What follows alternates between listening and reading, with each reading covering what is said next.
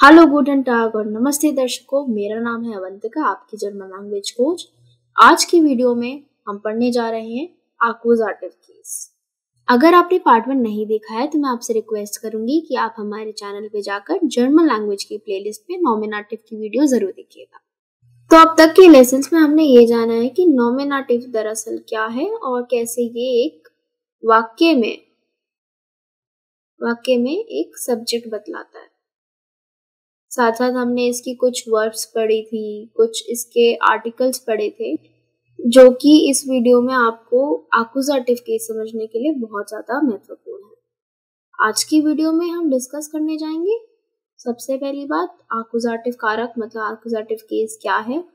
उसके आर्टिकल्स जो कि हमने पहले नॉमिनेटिव के साथ भी पढ़े थे वेस्टिम्ट आर्टिकल उन वेस्टिम्ट आर्टिकल और नेगेटिव आर्टिकल फिर की आकुजाटिव की क्रियाएँ मतलब उसकी वर्ब्स क्या होती हैं, उसके प्रोनाउंस मतलब सर्वनाम सर्वनाम क्या होते हैं, और कुछ पूर्व सर्ग मतलब प्रेपोजिशंस साथ साथ इस पूरी वीडियो में हम आपको बहुत सारे उदाहरण भी देंगे। तो बिना किसी देरी के शुरू करते हैं, और सबसे पहले जानते हैं कि आकोजाटिव कारक मतलब आकोजाटिव केस क्या है। तो आकुजाटिव की सबसे सरल परिभाषा यह है कि वह नॉमिनाटिव की तरह एक विशेष प्रकार से वाक्य बनाने के लिए इस्तेमाल होता है। इसमें किसी वस्तु मतलब ऑब्जेक्ट को संबोधित किया जाता है और ये ऑब्जेक्ट डायरेक्ट ऑब्जेक्ट होता है। डायरेक्ट ऑब्जेक्ट इसका मुख्य रूप से अर्थ है कि कोई चीज़ या कोई वस्तु को किसी क्रिया के माध्यम से, क्रिया मतलब हमारे वर्ग के माध्यम से जब सीधा प्रभावित किया जाता है तो वह आकोजाटिव केस होता है। अब हमारे पास एक एग्ज़ाम्पल है, जैसे एश जेह देन हुंड अब क्योंकि हुंड एक नाउन है तो हम एच हमेशा कैपिटल रखते हैं। और क्योंकि आई सी द डॉग में मतलब इज़ देयर देन हुंड में, हुंड एक ऑब्जेक्ट है, जो कि जेहन वर्ब जेहन वर्ब के थ्रू प्रभावित हो रहा है, वह एक डायरेक्ट ऑब्जेक्ट बन जाता है।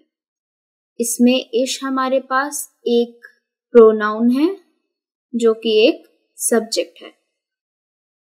वर्ब हमारे पास जेहन है और फिर ऑब्जेक्ट है डेन मतलब क्या चीज़ एक्शन रिसीव कर रही है? डेन हुंड तो डेन हुंड इसमें हमारा डायरेक्ट ऑब्जेक्ट हुआ।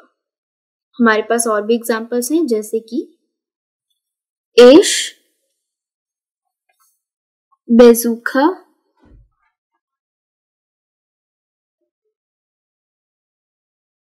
माइना ग्रोस एल्टन इश्बजुखा माइना ग्रोस एल्टन मैं अपने दादा दादी से मिली। इश यहाँ पे आपका सब्जेक्ट है, आपका प्रोनाउन है मेजुखन आपकी वर्ब माइना ग्रोस एल्टन आपका डायरेक्ट ऑब्जेक्ट मतलब आपका अकुजाटिव ऑब्जेक्ट एक और एग्जांपल है हमारे पास एयर हार्ट einen Apfel gegessen.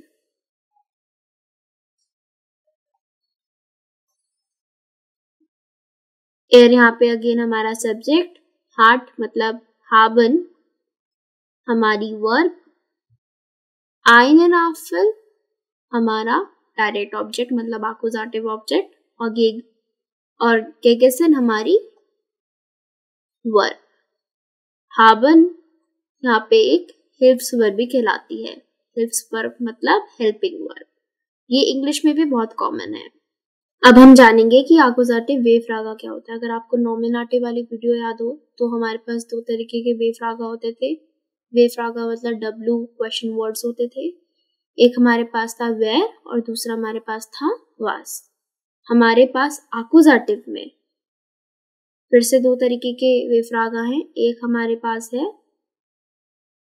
वेन और दूसरा हमारे पास है फिर से वास वेन का मतलब होता है होम वास का मतलब होता है वॉट इनकी सेंटेंस फॉर्मेशन कुछ ऐसे होती है। हमारे पास दो वेफ्रागा हैं वेन या फिर वास प्लस कोई वर्ब और फिर लास्ट में कोई प्रोनाउन या फिर एक्स्ट्रा इन्फॉर्मेशन जैसे कि when seeds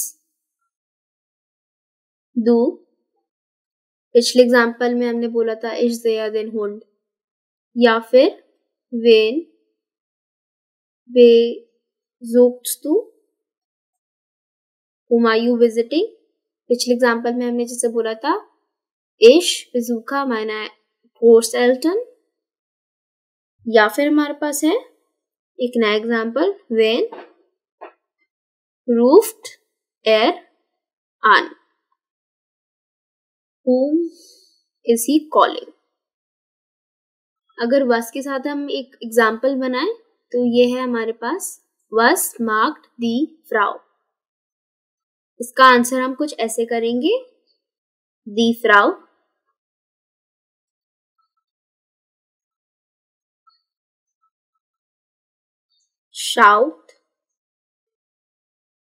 einen. Film. The lady is watching a movie. अगर हम ये क्वेश्चन देखे तो वस मार्क दी फ्राउ इसमें ये डायरेक्ट पूछ रहे हैं कि फ्राउ क्या कर रही है। तो हम सब्जेक्ट से स्टार्ट करते हैं। दी फ्राउ शाउट आइनन फ़िल्म तो ये थी हमारी डेफिनेशन की बात और कुछ एग्जाम्पल्स अब हम जानेंगे कि बेस्टिम्ट आर्टिकल उनबेस्टिम्ट आर्टिकल और नेगेटिव आर्टिकल आकुजाटिव के साथ क्या होते हैं। सबसे पहले हम करेंगे बेस्टिम्ट आर्टिकल तो अगर आपको याद होगा तो ये डेयर होता था, लेकिन अब ये चेंज हो जाएगा. मैस्कुलिन हमेशा चेंज होता है आकुजाटिव में, और ये ज़रूर याद रखिएगा, क्योंकि आपको फिर सारे आकुजाटिव के आर्टिकल्स याद रहेंगे. तो ये टेन बन जाता है. फिर हमारे पास है दी, दास, फिर से दी आर्टिकल आई नेन ये ई एन एंडिंग यहाँ से आई है। फिर है हमारे पास दोबारा आईना। फिर आइन फिर यहाँ पे ये एग्जिस्ट नहीं करता। नेगेटिव आर्टिकल क्योंकि इससे इंस्पायर्ड है उन वेस्टर्न आर्टिकल से तो ये भी ऐसे ही बनेगा। ऐसे ही कॉन्जुगेट होगा। काइनेन काइना काइन काइना तो ये तो हमारे आर्टिकल्स थे, अब कुछ एग्ज़ाम्पल के बारे में बात करते हैं। सबसे पहला हमारे पास एक एग्ज़ाम्पल है। एर श्राइब्ड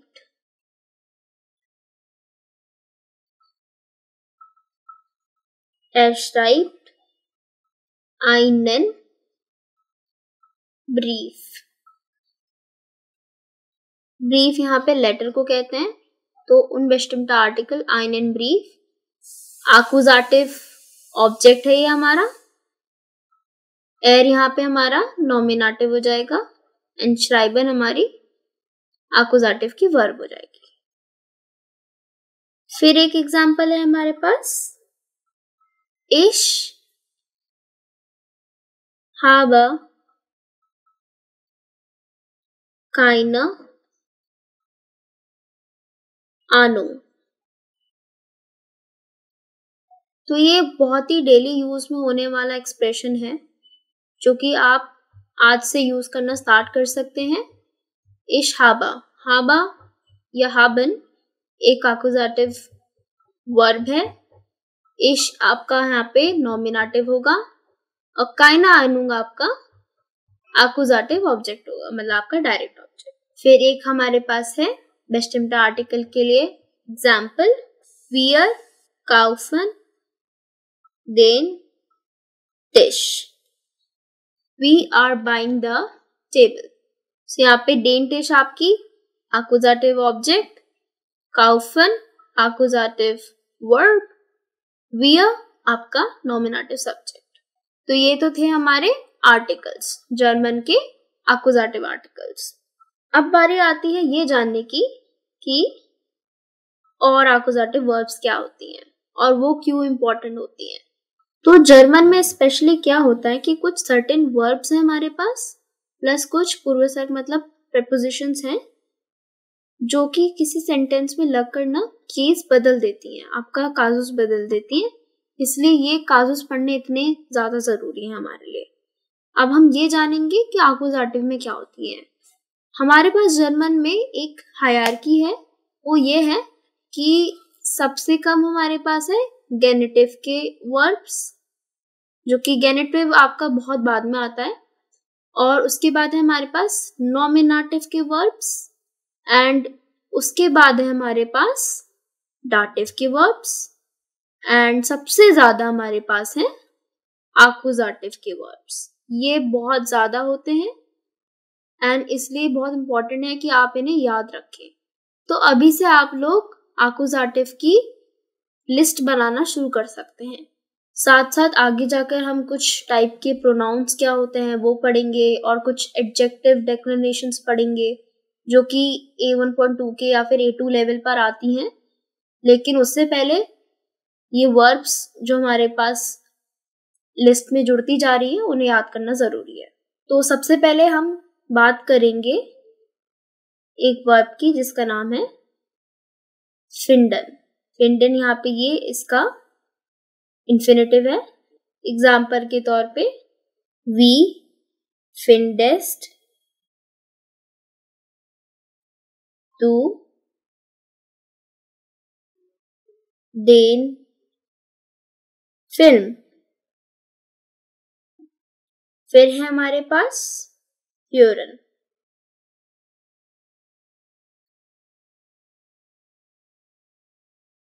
जैसे इश्यूरा दिशनिष्ठ, या फिर इश्कांदिश निष्ठुरन मतलब मैं आपको सुन नहीं पा रही हूँ। आप चाहे तो अपना भी एक एग्ज़ाम्पल बना सकते हैं और कमेंट सेक्शन में लिख सकते हैं। फिर हमारे पास है एक एग्ज़ाम्पल जिंगन का। इसका मतलब होता है गाना। एक है हमारे पास एग्ज़ाम्पल त्रिंकन मतलब पीना। और अगर आप नोटिस करेंगे तो मैंने अब तक जितने भी एग्जाम्पल्स हम लोगों ने बनाए हैं, वो वर्ब्स के साथ बनाए हैं, जो कि आकोजाटिव की वर्ब्स है। तो आप लोग चाहें तो रिवाइंड करके सारे एग्जाम्पल्स दोबारा भी देख सकते हैं। साथ साथ हमारे पास ये दो वर्ब्स एक्स्ट्रा है जो कि ए वन की है। एक है फेगैसन मतलब भूल जाना, और दूसरी लेजन मतलब पढ़ना। तो ये तो हमारी पाँच छह एग्जाम्पल्स थे अकोजाटिव वर्ब्स के।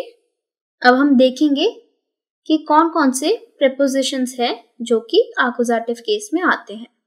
प्रेपोजिशंस को याद करने के लिए हमारे पास एक निमोनिक है। F U D G E B O पचपो, जिसका मतलब होता है एफ़ से फ्यूअर यू से ओम डी से दुर्च जी से गेगन ई से एंटलांग बी से बिस, और ओ से ओना। इनके मतलब हम आगे की वीडियोस में जानेंगे। अभी हमारे पास ये दो प्रेपोजिशन हैं जो कि एवन में बहुत कॉमन है, जिसका मतलब है फ्यूअर का फॉर और उनका अबाउट या फिर अराउंड या फिर टाइम के सेंस में एट तो हम इन दोनों के ही एग्जाम्पल्स डिस्कस करेंगे। तो सबसे पहले हमारे पास है फ्योर का एग्ज़ाम्पल एश काउफा ये काउफन वर्ड से आया है टू बाय आइन गेशेंक ये शेंक का मतलब होता है तोहफा। इश kaufe ein Geschenk für meinen Bruder. Ich kaufe ein Geschenk für meinen Bruder. ये हमारा फ्योर के लिए एग्ज़ाम्पल है और उम के लिए हमारे पास एग्ज़ाम्पल है एर लॉफ्ट ओम, देन, पार्क। तो ये थे हमारे प्रेपोजिशंस आकुजाटिव के साथ। आने वाली वीडियोस में हम इसे डिटेल में भी पढ़ेंगे। तो चलिए, ये थी हमारी आज की वीडियो। अब करते हैं छोटा सा रिवीजन तो आज हमने ये सीखा कि आकुजाटिव केस क्या होता है।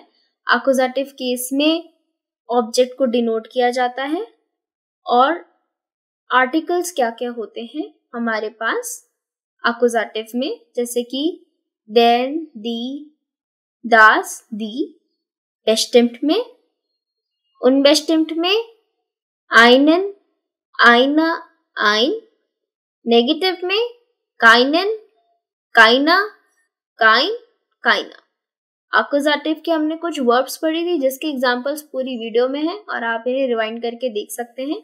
साथ साथ हमने ये भी जाना था कि फजबो क्या होता है, जो कि एक निमोनिक है प्रेपोजिशन याद करने का अकोजाटिव की। एफ़ से फ्योर फिर ओम दुर्च गेगन एंटला बिस ओना इसमें से हमने दो प्रेपोजिशंस की एग्जाम्पल्स भी देखी थी और उनके मतलब भी जाने थे। तो आज के लिए इतना ही। अगर आपको ये वीडियो पसंद आई हो तो प्लीज़ हमारी वीडियो को करिए लाइक आपकी डाउट्स पूछने के लिए करिए कमेंट और इस वीडियो को शेयर करना ना भूलें। साथ साथ बेल आइकन पर प्रेस करके हमारे चैनल को कर दीजिए सब्सक्राइब बहुत बहुत धन्यवाद। मिलते हैं एक नई वीडियो के साथ।